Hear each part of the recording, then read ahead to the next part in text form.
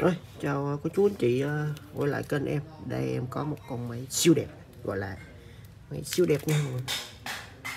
Này là một con Echo nha Made in Japan ba ngàn tư nha. Này công suất nó tương đương với mấy con làm đứng nồng nòng nó y chang luôn. Không phải y chang mà là nồng nòng nó to bằng này nó tầm ờ, bảy bảy tám ly.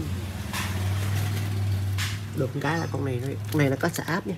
Muốn mình muốn chặt nhẹ mình nhấn cái này vào khi nó xả áp nó sẽ tự nhảy. Công suất ba bài bốn ba phẩy bốn kg y chang với ba tư nằm đứng luôn nha. Này là hàng mới về nha mọi người. Mới về cách đây một tiếng đồng hồ. Xe nó mới trở về. Được cái này là nó có bộ lam xích vip lắm. Lam chuột này như mới luôn nha.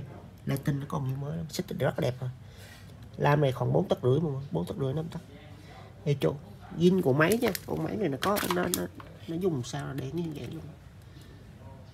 Đó làm này nó không có mẻ nha mọi người. Làm đẹp sức đẹp nha. Nói chung là con này nó đẹp. Để hơi nghe nè chưa dọn nha. Ui, hơi khiếp. Đó đi bài. Con này thôi chứ con này à, về anh em bán lẻ này nhất nách bỏ cửa tiệm bán lẻ là nhất nách này để cho uh, một năm năm mươi nha một triệu rưỡi năm chục đó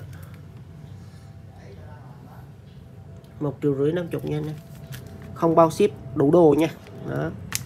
Nhìn cơ bản là em thấy nó không có bể vỡ gì nha mọi người. Con này là em thấy nhìn sơ bộ là không có bể vỡ gì đủ đồ. Đó, đẹp máy này nó đẹp.